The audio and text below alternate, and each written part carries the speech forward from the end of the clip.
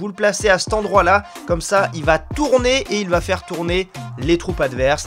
Par exemple, tu joues roquette plus bûche plus zap dans ton deck. Faut que tu saches la somme des trois. Bonjour à tous, bienvenue sur cette vidéo. J'espère que vous êtes en forme. On attaque une vidéo exceptionnelle aujourd'hui avec les meilleurs conseils de Michou. Voilà, je suis baladé un peu sur le live de Michou. J'ai vu qu'il donnait pas mal de conseils. J'ai demandé à mon équipe de les sélectionner. Du coup, il y en a 13. C'est énorme. Du coup, on va voir un petit peu tout ça. Michou avec qui? Bah voilà, on avait fait quelques vidéos sur Brawl Stars. Mais c'est vrai que Michou, il est là depuis Clash Royale, les gars. C'est un ancêtre, c'est un dinosaure de YouTube. D'ailleurs, Michou, si tu veux faire un petit 1v1 à 500 euros sur Clash Royale, je suis chaud, je dis ça, je dis rien. Oh purée, ça lance des nouveaux concepts comme ça en direct. Bon, j'espère que vous êtes en forme en tout cas. On avait déjà fait un premier épisode avec les conseils d'Inox. En gros, mon équipe avait sélectionné 10 euh, conseils d'Inox et je vous parlais de stratégie. Ça vous avait plutôt plu. J'essayais évidemment d'illustrer à chaque fois qu'il parlait d'un truc en particulier. Je prends mes, deux iPads et j'illustre. Voilà, je me fais des games amicales pour vraiment illustrer un max le truc, pour bosser un max le, sujet. Si vous découvrez la chaîne, il y a du contenu tous les jours sur Clash Royale. Donc, euh, notamment des astuces. Moi, je suis un gars, j'aime bien donner des astuces. Les meilleurs decks pour chaque niveau trophée, les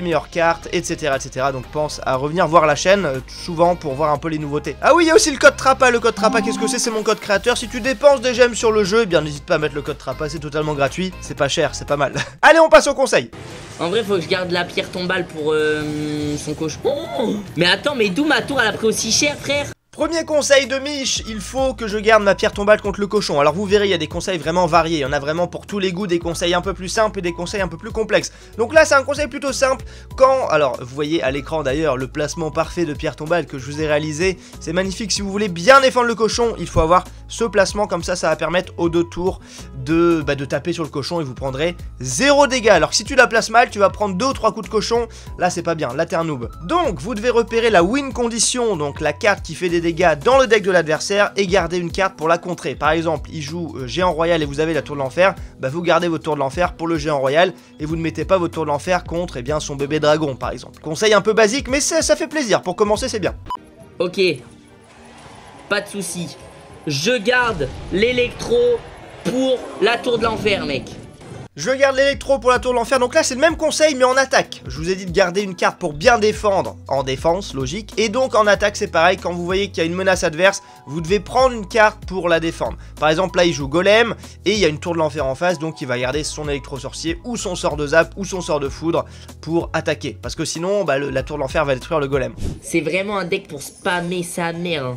Mais moi j'ai pas l'habitude de jouer comme ça. Moi en fait d'habitude je joue pas agressif. D'habitude je défends et après j'attaque. J'attends que le mec attaque, je le défends et après je mets un golem et je l'attaque. Tu vois, c'est comme ça que je joue d'habitude. Donc là, conseil très très important. En fait, il dit qu'avec le deck cochon 2.6, donc si vous savez pas ce que c'est le cochon 2.6, c'est un cochon ultra rapide où on va pouvoir spammer un max de cochons. Et eh bien, il dit qu'avec ce deck, il faut spammer les cochons. Il faut essayer d'en envoyer le plus possible. Et en fait, ce qui est important à retenir dans ce conseil, c'est que chaque deck se joue d'une façon différente. C'est pour ça que bah, si vous voulez vraiment progresser, je vous conseille de jouer un deck à fond. Comme ça, vous allez le maîtriser, vous allez voir un peu comment ça marche. Mais c'est vrai qu'on joue pas du tout un deck golem de la même façon qu'un deck cochon. Donc voilà, encore une fois, il faut bien essayer de tryhard un deck en particulier, comme ça vous connaîtrez tous les secrets de ce deck. Mais en vrai, ce qui est fort, c'est que si le mec il a un counter contre moi, et eh ben c'est pas grave. Essaye de cycle un peu plus vite. Ouais, voilà. Si le mec il a un de mes counters, un de mes et eh ben j'ai juste à...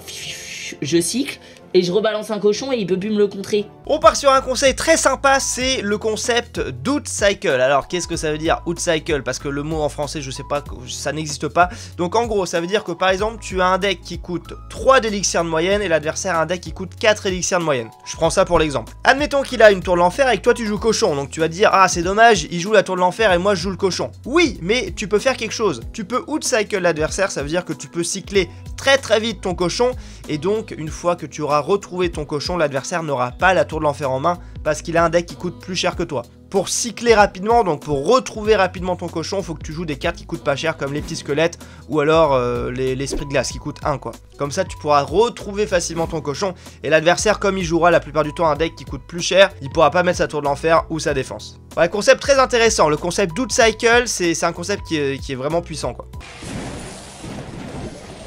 son canon là. En fait, il est trop intelligent de placer son canon n'importe comment. Parce que du coup, je peux...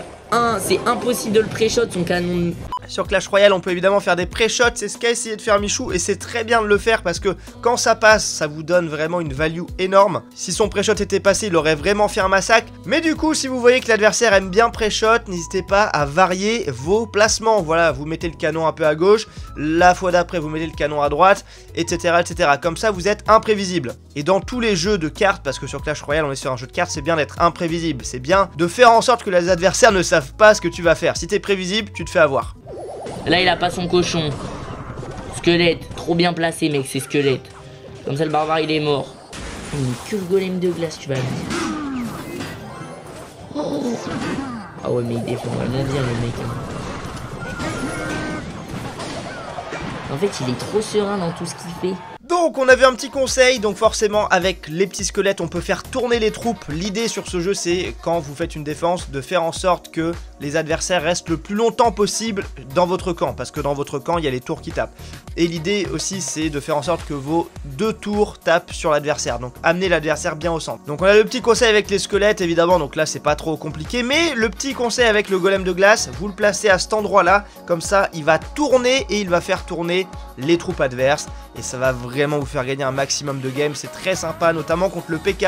T'as un golem de glace, il y a un PK en face. Bah boum, tu le mets à cet emplacement là et il va faire tourner les autres unités. C'est vraiment très très fort. C'est fini, frère. Il met son poison, je suis mort. Roquette. Non, mais là, la roquette, elle allait. Ah, vous.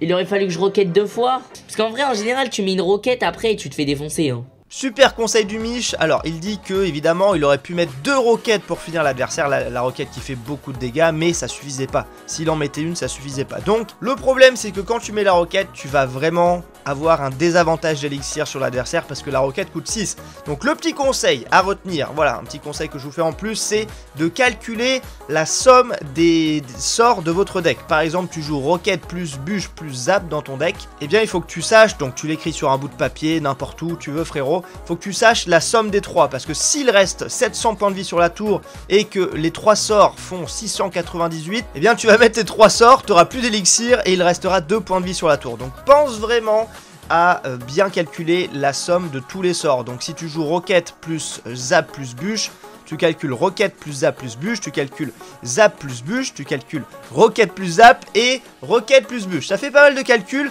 mais des fois ça va te sauver des games, je te le garantis. Et tu fais ça pour tous tes decks, évidemment. Oh mec Oh mec, j'ai été trop con de mettre ça. En plus, je le sais. Alors là, un truc de fou, quand vous jouez contre le Chevalier d'Or, donc si vous faites du super défi ou si vous êtes niveau 14, eh bien il est vraiment super fort contre l'armée de squelettes. Il fait pas des dégâts de zone, mais il va pouvoir slalomer entre tous les squelettes et vous défoncer votre armée de squelettes. Donc faites attention, si vous voulez défendre le Chevalier d'Or avec une armée de squelettes, eh bien essayez de mettre quelque chose d'autre quoi. J'ai oublié qu'elle a mourrait pas à cause de la bûche. Là, elle va mourir.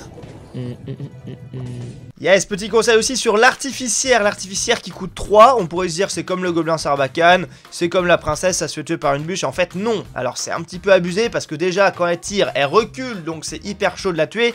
Et en plus, elle est pas sensible à la bûche. Donc une carte très très forte que je vous invite à jouer.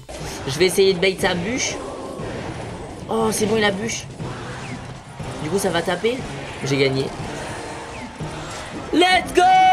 J'ai gagné alors que j'avais même plus le chat, quoi Super conseil de Mich, je vais essayer de bait sa bûche. Donc en gros, quand vous jouez le fût à gobelin et que vous savez que l'adversaire a une bûche, bah faut essayer de mettre le fût à gobelin un peu plus en haut, un peu plus à droite. L'idée c'est vraiment de lui faire mal à la tête. On a envie de donner un balle de tête à l'adversaire. Si tu mets tout le temps le fût de gobelin au même endroit, bah, l'adversaire va euh, encore une fois savoir que tu vas le mettre à cet endroit-là. Il va mettre une bûche qui sera parfaite. Par contre, si tu le mets un peu derrière, un peu à gauche, un peu à droite, bah il va paniquer. Parfois, tu vas mettre des petits coups de gobelin gratuits. La tour de l'enfer, elle va fumer le dragon et la valkyrie. Et le dernier mini conseil de Michou, c'est eh bien de jouer la tour de l'enfer. Parce que la tour de l'enfer vous permet souvent de faire des trades. Donc qu'est-ce qu'un trade? C'est en gros, vous mettez une carte et ça défend une autre carte. Donc ça c'est un trade. Vous mettez par exemple le bébé dragon en défense des gargouilles. C'est un trade. Et bien la tour de l'enfer qui coûte 5 vous permet parfois de faire des trades à 7, 8, 9 d'élixir. Donc par exemple, il a mis bébé dragon plus Valkyrie. Et bien avec la tour de l'enfer, on peut avoir à la fois le bébé dragon et à la fois la Valkyrie. Donc pour 5, vous prenez prenez 8. Et ça, c'est énorme. Sachant qu'il vous faut 2.8 secondes pour avoir une goutte d'élixir, vous prenez 3 gouttes d'élixir d'avantage, donc ça vous fait 8.4 secondes d'avantage que vous prenez sur l'adversaire en mettant une tour de l'enfer comme ça. Donc c'est vraiment très très fort, jouer la tour de l'enfer, une des meilleures cartes du jeu. Si vous êtes à bas niveau, parce qu'à haut niveau, elle se fait un peu counter. J'espère que la vidéo vous aura plu, j'espère que les conseils vous auront aidé. Appliquez ces conseils évidemment chez vous à la maison, voilà, ça vous permettra de progresser. Quand vous jouerez dans votre petit lit comme ça, appliquez ces conseils. Si Michou pas sur la vidéo, mais écoute, je t'attends pour le 1v1 à 500 balles. Oh là là, on lance des trucs, pourquoi je lance des trucs comme ça moi? C'est terrible. Et à très bientôt tout le monde, bye bye